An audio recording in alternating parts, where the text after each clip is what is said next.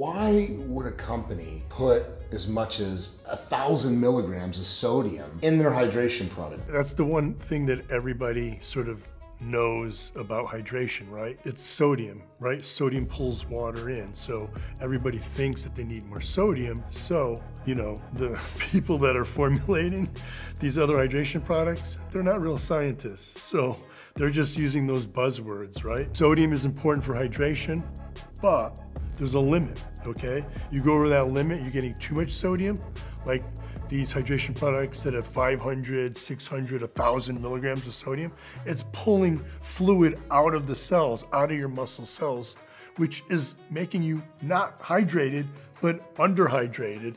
And if you're serious about lifting in a pump, it's actually limiting your muscle pump and it's gonna have that fluid outside, right? Meaning you look bloated.